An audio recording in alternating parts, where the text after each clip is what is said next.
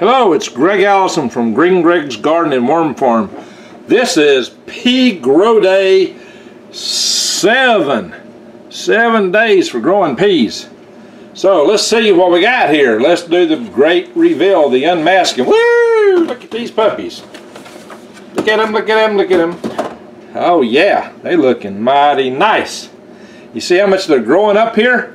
Now if I expose these to light right now, the, their growth would be stunted quite a bit. But guess what? They're growing real nice. Seven days. They're going to be under uh, this cover for maybe one or maybe two more days. And uh, uh, let's see, this one's got a few little spiky roots in it. This one not so much. So we'll give a little more water to this one today and we'll see how they are. Anyway, let's have a look at them just for your edification. Let's come around here and look at this way. You see they're coming up to the top of the tray and some of them are sticking over just a little bit. You see that? Don't that look nice? They're yellow. Now some people grow entirely in shade and they sell them as golden pea shoots. That's something of a delicacy, golden pea shoots. Uh, now, uh, most people buy them green though, but golden pea shoots have their interest. And if you're going to sell to a restaurant, you may want to ask them, or some of your other customers. They may prefer them that way. But in any event, we're going to give it the old um, paint job here. The whitewash, the Tom Sawyer whitewash, that's what we're going for right now. And we're going to do about 20 seconds on this, and I think, no, 25 seconds here maybe, and 20 over here. I think this needs water more than this one, just from the looks of the piece. 1001, 1002, 1003, 1004, 1005, 6, 7, 8, 9, 10, 11, 12, 13, 14, 15, 16, 17, 18, 19, Swancius. Let's see. One, two, Triton Swancius, Fitten Swancius, Funken Swancius, and a little German counting mixed in there. No, I'm not German. Never even been to Germany. Just having a little fun. Let's see here. And yes, she's definitely up to my knuckle. Like I said, these look like they need water more than these. I'm going to do these. There's some spiky roots in here. Let's just see how it looks. I'm going to do them 20 first and then we will check.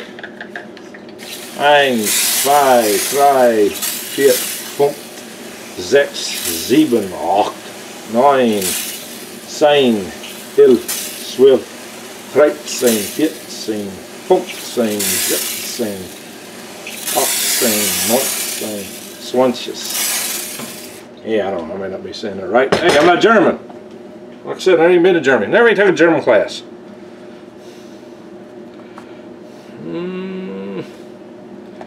Well, it's only up to my fingernail. Only up to my fingernail. Now, there it is. Hmm.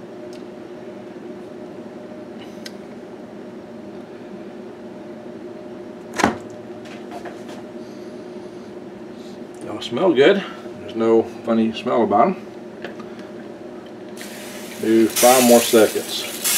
Three, four, five. Yeah, this thing is picking up air. Shouldn't be. Look, see how it's on just a little bit? I pumped the devil out of it earlier. This is the way we pump water, pump our water, pump our water. This is the way we pump our water so early in the wee hours of the morning. Now you may wonder why I always do this in the wee hours. Reason being, golly gee, actually I went to Hal 5 Christmas party tonight. Um, I do have something of a life, hardly, but I do also, uh, and I'm removing trash, like I always do. Um, hey, I have a day job during the week. I work long hours at NASA, of all things. And also, uh, a little smoother, but I'm going to put some more water in here. Um, I also uh, have a greenhouse. I've got a worm farm. I gotta fix something to eat when I get home from my late hours. And you know, I do, uh, you know, as I eat, I actually watch YouTube videos from other YouTube providers. So, you know, I've got a busy life. And so, uh, bills to pay and other things to do. So this is usually the last thing I do before I start getting ready for bed. I do a final email check or message check and boom, I go to bed. But see right now it's already uh, like, um, just give an example. Now you don't have to do this, but you see, it's 1.41 a.m. Yeah, and I'm going to get up uh, probably about 6 in the morning. So yeah, that's going to be a short night's sleep. But uh, like I said, I have many other projects I'm doing. Any one of these projects will be enough. Uh, you can make a living doing microgreens. You can make a living doing aquaponics. You can make a living doing worm farming and maybe doing all of them is a little crazy. Maybe I'm not as focused as I should be. But this is how I entertain myself.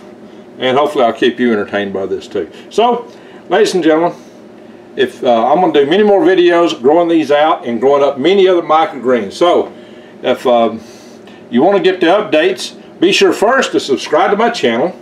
Don't forget to bang the bell for update notifications. And you'll see the, the grow alongs, the everyday grow, and you're going to see uh, many other things I grow. You're going to see other lessons.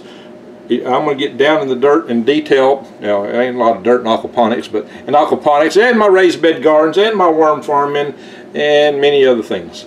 So uh, that's our uh, grow day number seven for the microgreens, for the pea shoots that is. And I'm going to cover these guys back up for one or two more days technically, if I was really rushed to market, I might couldn't uncover them. Yeah, they're really too short. They'll grow a lot taller if I leave them in here a couple more days.